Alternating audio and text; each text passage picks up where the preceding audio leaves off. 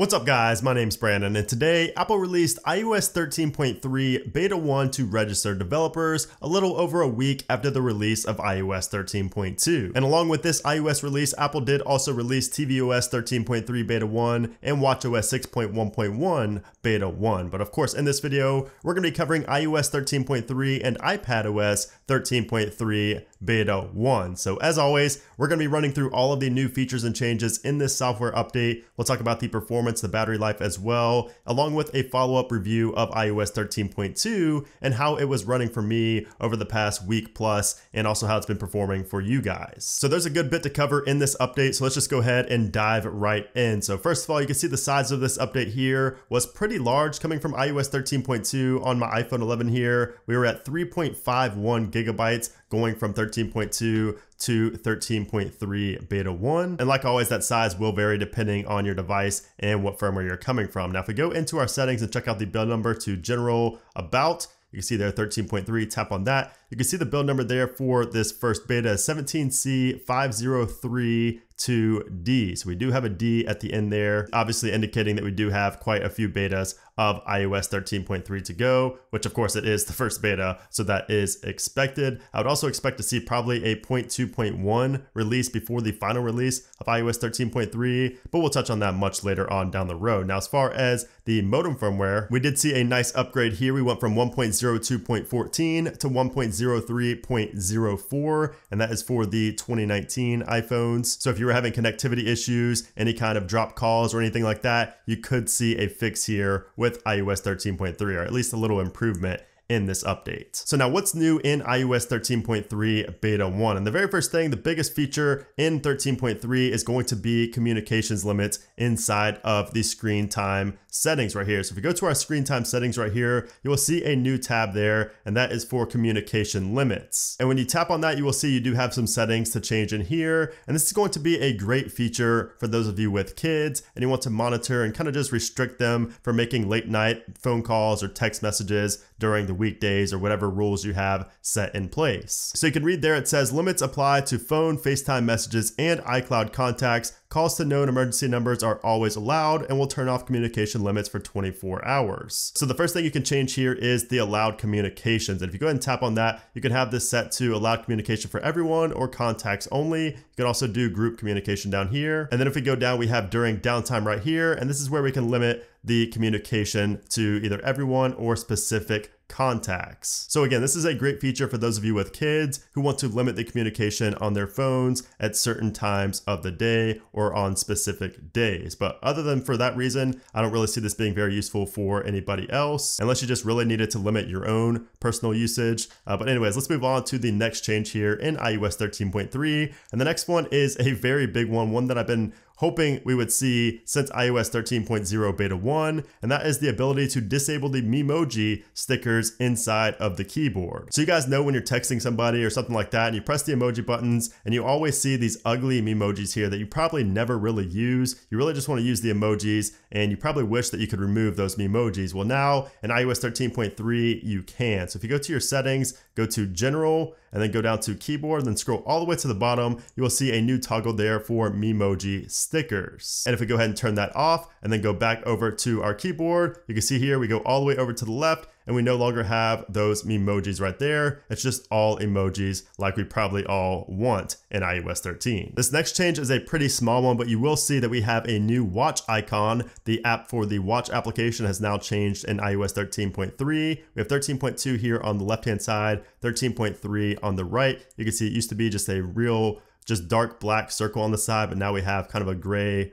ring indicating like a Apple Watch Series 4 or Series 5 instead of like a Series 1 over here on previous versions of iOS. Another nice change here in iOS 13.3 beta 1 is that the AirPods Pro now actually show up as the AirPods Pro model in the Find My application. And iOS 13.2, it just showed a regular set of AirPods, but now it's changed to the AirPods Pro model and that reflects in the Find My application. Now, as far as AirPods Pro controls or any kind of new toggles inside of the settings for the AirPods Pro, unfortunately, I don't see anything new here in iOS 13.3 compared to 13.2. But hopefully with future updates, we do see more options and more customizability for the AirPods Pro. Now, if you guys spent any significant amount of time with iOS 13.2 over the past week, you would know that there is a pretty major issue with RAM management. So what I mean by that is if you went into like Safari or YouTube and then you went out of it and went into another application or another couple applications, the next time you went back into Safari or YouTube, it would reload and would kind of just forget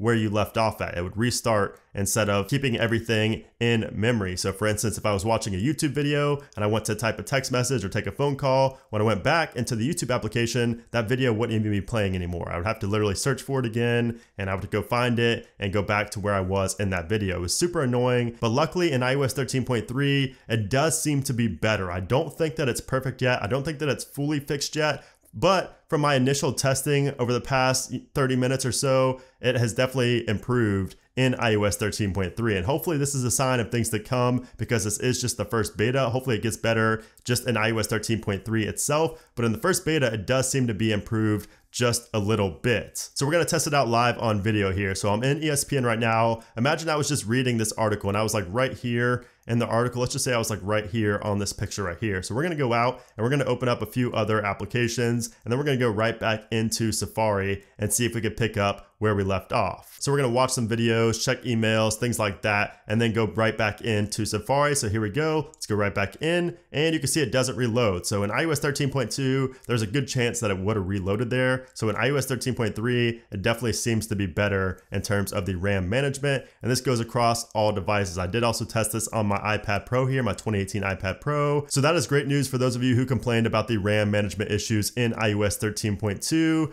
It's definitely a valid complaint as well, and I'm sure Apple heard all of us loud and clear, and that's why they started addressing it here with iOS 13.3 Beta 1. But in terms of opening up a lot of applications and just going back to see if it's where you left off, I do notice that RAM management in that case is definitely improved here in iOS 13.3 Beta 1 as well. So it seems that RAM management in general has just been slightly improved here with iOS 13.3. Again, I don't think it's perfect. I don't think it's fully fixed yet. I don't think this is as good as it can be, but it's good that Apple is at least addressing it in this first beta. Now, as far as iOS 13.2 in general, after using it for about a week or two, I didn't really have a ton of major issues. I mean, the RAM management thing was quite a big issue, but other than that, I didn't really have too many things going on. Now, I did have some issues with the Twitter application. The Twitter application was quite buggy for me on iOS 13.2. And matter of fact, let's go into Twitter and I want to read what you guys said about iOS 13.2. All right, so let me take this out of dark mode so you can see the screen better. So I made this tweet earlier today. I said, apparently I'm the only one not having issues on iOS 13.2. Are you having any performance or battery related issues? And here's what you guys had to say. I'm going to pick a few tweets here and read these out. If you're not following me on Twitter, of course, go ahead and follow me over there. I do say things like this sometimes. I do ask you guys questions sometimes and then read your responses on these videos. And aside from the RAM management issues, I noticed that a lot of people said they had bad battery life in iOS 13.2. Now, for me, Battery life in iOS 13.2 was perfect. It was perfectly fine on my iPhone 11 Pro Max, which I use every single day, my iPhone 11, which I also use every day, my iPad Pro 2018, also use that every day, and even the iPhone 6S was decent. I mean, the battery life isn't great on the iPhone 6S in general, but it was still decent. It was still sufficient and it wasn't terrible. It didn't drain a lot. So I do see quite a few people talking about battery drain issues. And I would really just suggest you guys that have battery issues to watch my battery saving tips video for iOS 13 because that's not usual for your battery to drain so quickly on especially the newer devices. Like I saw people saying that it happened to them on the iPhone 10R and even the iPhone 11 in some cases. Someone here has an iPhone 11 Pro and they're kind of worried about their battery health going down to 99% after only five weeks of usage, and it never dropped below 100% when they had the iPhone 10s Max that they owned for a year. So I wouldn't be too worried about the battery health. That's not really super accurate when it shows that percentage in there. Until it gets down past like 90%, I would not really worry. I wouldn't really put too much stock into that. You can see someone here complaining about the battery life and that got 10 likes. So a lot of people agreeing with bad battery life right there. Ninja Panda here with the 11 Pro was on 100% this morning at 8.30 before I started work. It's now 15.45 and I'm on 85% had over one hour of screen on time during dinner and breaks plus usage through the day. Battery is amazing. So this is kind of a flip side of it. Also, people are having great battery life as well on 13.2, and that is for the 11 Pro. You can see here, Travis said battery issues no, weird glitches yes. So I asked, what kind of glitches because a lot of people have different things. And he said, one time I turned off my phone and the power button wouldn't let it come back on. I had to put it on a wireless charger to bring it back. I've had several lockups on apps randomly and frequently. When I try to click on iMessage, it doesn't take and says space when I click it. And he said it only started happening with iOS 13.2. So if you guys had any of those issues, let me know down in a comment below. I don't think I've heard of these happening, but that's why I like to ask you guys as well to kind of see what kind of issues are going on with your devices. And then I just wanted to show you one final response here from Oliver. He said, when airplane mode is activated for a certain period of time,